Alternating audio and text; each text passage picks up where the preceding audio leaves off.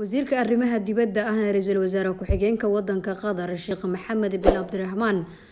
bin jasim al thani iyo wafdi uu hogaaminayo oo ay qeyb ka ahaayeen wasiirka dekedaha gaadiidka isgaarsiinta ee wadanka qatar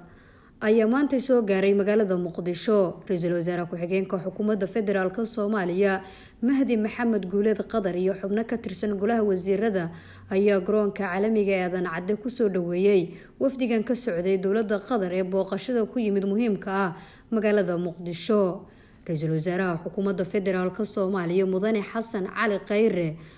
ayaa wasiirka arrimaha dibadda qatar ahna ra'iisul wasaare ku-xigeenka wadankaasi xafiiskiisa kulan kula yeeshay ka oo looga hadlay adkeynta xiriirka soo jireenka ee ka dhexeeya labada dowladood iyo dardargelinta mashaariicda horumarineed ee dowladda qatar ka fuliso soomaaliya. Kulanka kadib ayaa dowladda qatar waxa ay shaacisay inay bilaabayso mashruuca dhismaha dekada hobyo wasiirka dekedaha soomaaliya wasiirka dekedaha qatar ayaa si wadajira maanta u shaaciyey in la bilaabayo dhismaha dekada hobyo ee gobolka mudug munaasabada oo lagu qabtay xafiiska ra'iisul wasaaraha ayaa waxaa goobjoog ka ahaa ra'iisul wasaare xasan cali khayre. ra'iisul wasaare ku-xigeenka dalka wasiirka arrimaha dibadda qatar aan ra'iisul wasaare ku-xigeenka madaxweynaha galmudug axmed ducaale geelle xaaf wasiiro iyo xildhibaano ka tirsan labada aqal ee baarlamaanka soomaaliya wasiirka dekedaha wadanka qatar oo ra'iisul wasaaraha xukuumadda federaalka soomaaliya uga mahad celiyey soo dhaweynta ballaaran ee loogu sameeyey magaalada muqdisho ayaa sheegay in dekeda hubyo la dhisaya habka ugu casrisan ee deked loo dhiso lana bilaabayo. Maantana laga howlgelayo qorshaha dhismaha dekedda si shacabka soomaaliyeed ay uga faa'iideystaan axna sucadaa jiddan an takuun mawaana qatar axda almawaana ومن أهم الموانئ التي نستثمر فيها وهي ميناء ميناء هوبيو. هذا الميناء إيمانا منا وكذلك دعم لاستقرار الصومال وإيمانا منا بالمستقبل الزاهر لهذه الموانئ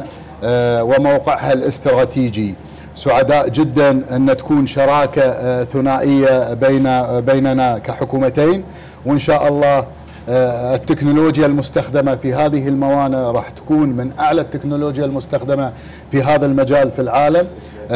وإن شاء الله يبدأ الاستثمار المباشر من الآن. سعداء جدا أن نكون متواجدين بإعلان هذا الاستثمار المهم للدولتين. wasiirka dekedaha ee xukuumadda federaalk soomaaliya maryan awees jaamac ayaa caddaysay in bilaabidda dhismaha dekada hobyo ay muhiim u shaqa abuurka dhalinyarada soomaaliyeed iyo horumarka dhaqaalaha dalka. Runtii sharaf weynay noo tahay maanta in aan marti gelinayno runtii wafdi ka socda dalka qatar oo runtii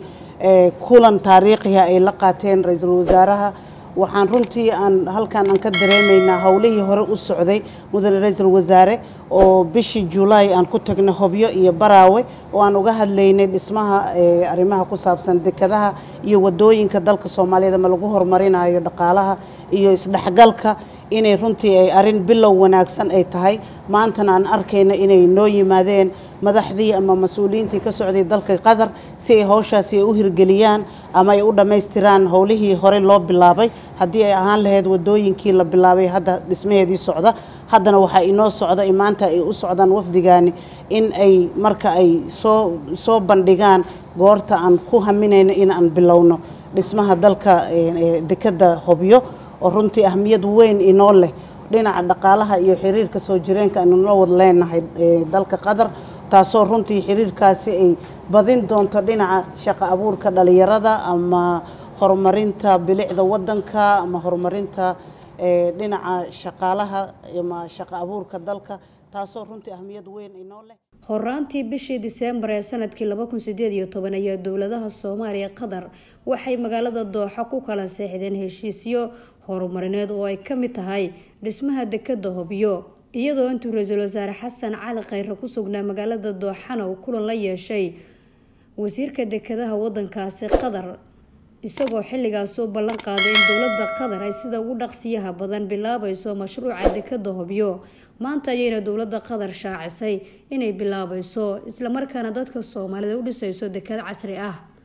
Nasr bashiir cali warbaahinta qaranka magaalada muqdisho